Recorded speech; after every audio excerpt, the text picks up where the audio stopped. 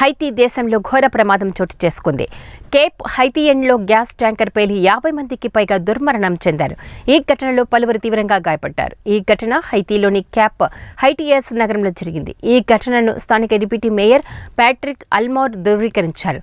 ఘటనా స్థలంలో యాభై నుంచి యాభై నాలుగు మంది సజీవ దహనాన్ని చూశారంటూ ప్యాట్రిక్ అల్మోనోర్ పేర్కొన్నారు.